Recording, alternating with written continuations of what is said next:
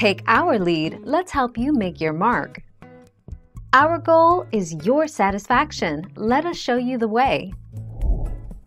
A reading of 100% relative humidity means that the air is totally saturated with water vapor and cannot hold any more, creating the possibility of rain.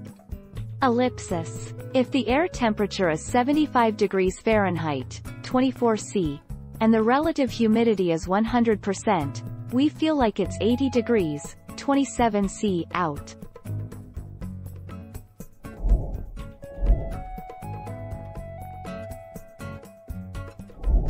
Let's help you make your mark.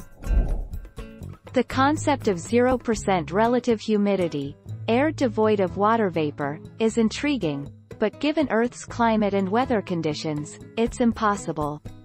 And once water vapor is in the air, wind carries it everywhere, even across arid deserts.